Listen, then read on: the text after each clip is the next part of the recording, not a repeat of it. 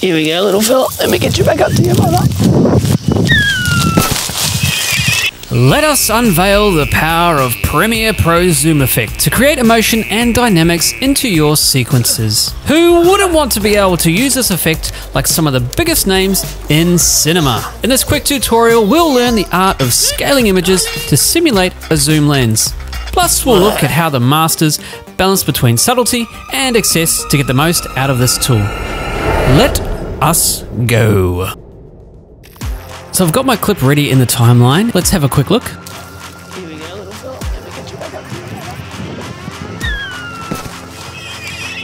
Wonderful. Now the shot's pretty bland, so let's add that beautiful bit of cinematic zoom. Okay, so for this one, I think I want to do a zoom out. We want the camera to be slowly going away from him as if we're leaving him because it's kind of awkward. So let's navigate over to the effects control area where we're going to be playing with the scale and adding some keyframes. So I'm going to work a little bit backwards. We want to end on what we can see right now. A little shortcut is if you hit the end key, it gives you the last frame in your clip.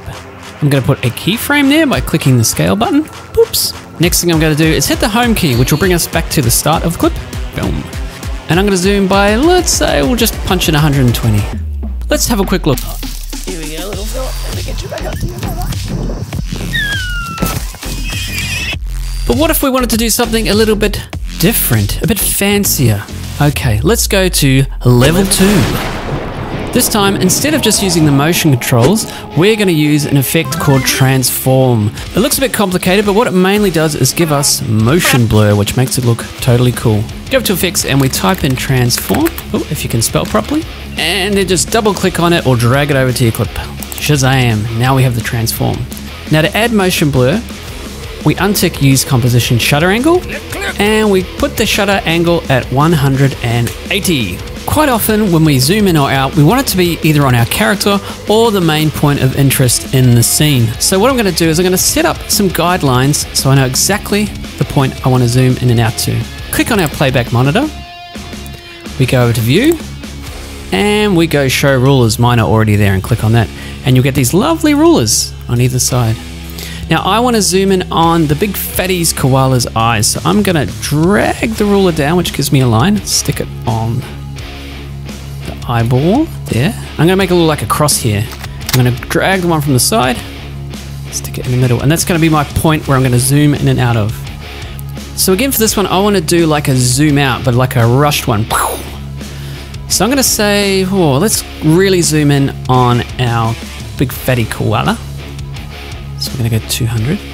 And I want to line up my little cross here with his eyeball. Oh, now don't use the anchor point. That's I he's the position. Right on his eyeball. Cool.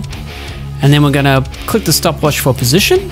And we're to click the stopwatch for scale to give us our keyframes. Next, we're going to hit end to give us the last frame in the clip. I'm going to hit this reset button and that's going to put us back to the original size of the footage. Click. And you're saying, uh oh, it's kind of all out of whack, dude. That's okay, because I'm going to also click the one for position. Oops, and it brings us back. As we zoom out to the frame, I want to gently stop rather than just slamming into the last frame. So let's highlight our keyframes, right click on them, and then click temporal interpolation. And we're gonna choose ease in, so it slowly pushes into that last keyframe. And I'll hit home, and let's have a playback. Here we go, little fella. Let me get you back up. The motion blur is gonna become more prominent the quicker the frame moves. So if I move the zoom like way up ahead here, let's have a look. It'll be like, Shazam! Here we go, little fella. Let me get you back up to your. Now, if we want to get rid of these guides, we click on the monitor, go view, clear guides. Coolio.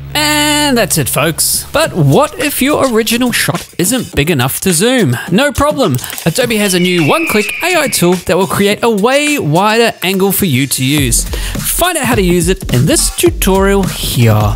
Catch you in the next vid.